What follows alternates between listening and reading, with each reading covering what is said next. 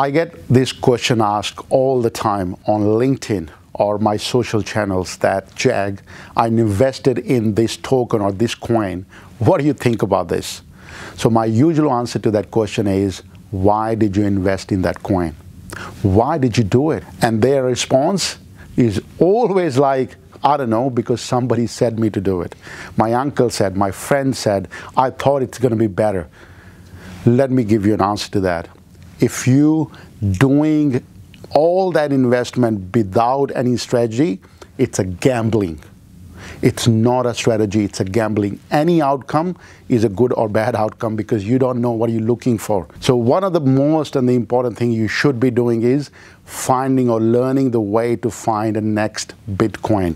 Bitcoin's gone, the ship has sailed. The only way you can make money today is finding the next Bitcoin.